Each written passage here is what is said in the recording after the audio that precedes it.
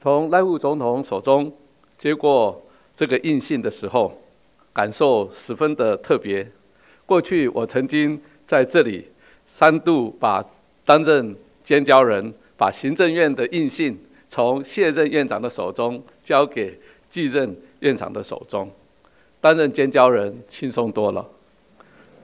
但是今天自己接下这颗印信，沉重的责任就落在我的肩上。战战兢兢、如履薄冰这样的形容词，恐怕还不足以形容我现在的心情。但是这又让我更加的钦佩过去几位曾经在这里担任这个重担的先进，包括林前院长以及现在在场的赖前院长及苏全院长。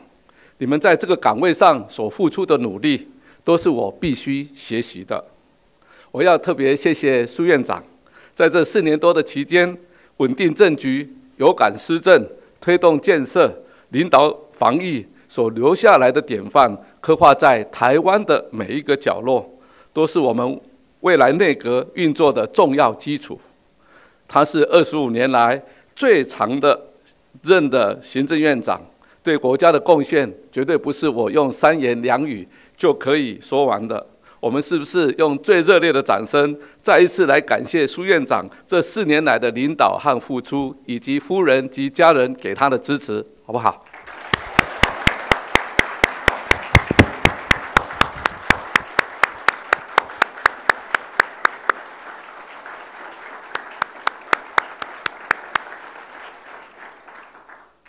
我更要感谢总统的信任和托付，他任期的最后一年多。把这份重担交给我，但是我知道，这重担不是我有一个人来担，而是我的责任组成一个来金石团队，然后让每个人都能够像苏院长所说的贡献所长，而且又能够分工合作。为了要能够稳健衔接政务，新内阁团队不仅留用部分苏贞昌院长的阁员。期待能够延续会做事团队的优异政政绩，我们也扩大了世代的参与，强化世代的合作。因此，团队中有许多经验丰富的老将，而且也有许多崭新的中生代的面孔。同时，我们也新延揽了七位女性首长，倍增了女性阁员的比例。为了要更贴近民意。我们更延揽了五星级的施政的县市长，以及有民意代表及地方政府历练的成员来一起加入我们这一个行政团队。我要感谢所有新团队的伙伴，勇敢承担责任。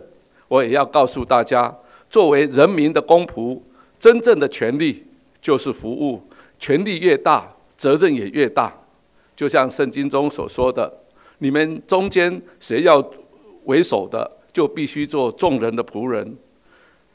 我知道各位有不同的宗教信仰，我想借由这句话是要告诉大家，加入了我们这个行政团队，服务人民就是我们共同的信仰。经历了疫情以后的台湾，我们台湾人民渴望着重建正常生活秩序，用最快的速度恢复原有的繁荣景象。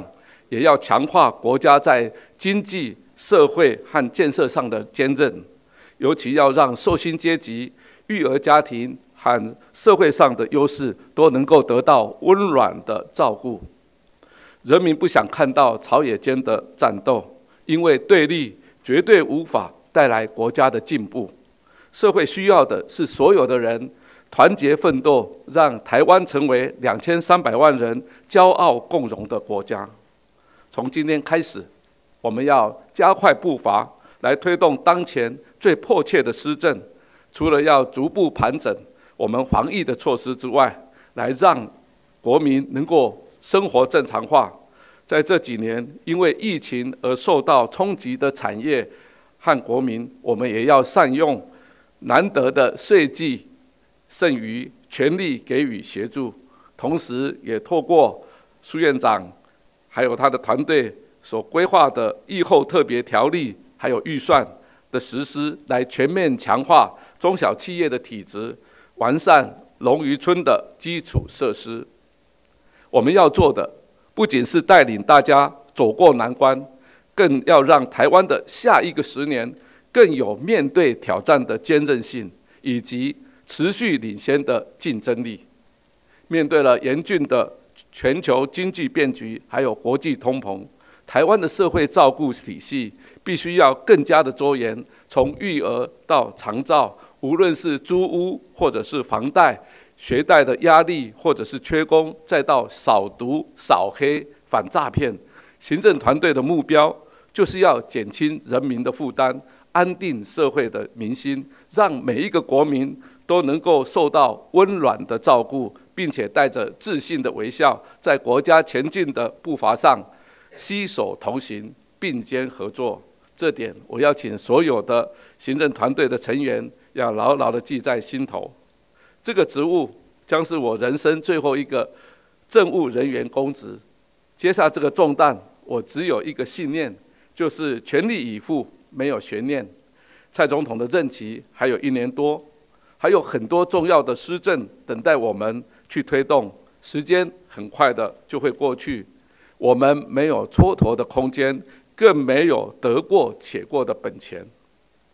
我们每一天的工作，都是在为台湾的长远、未来的发展打下坚实的基础。我们每一天的作为，就是为了要能够照顾好人民的每一天的生活。所以各位伙伴，剩下来的未来的四百七十五天，请大家。每一天都要上好花条，要对得起人民的托付，为台湾人民还有我们的后代子孙打造一个温暖而坚韧的台湾。我们大家一起努力，谢谢大家，让我们开始工作吧，谢谢。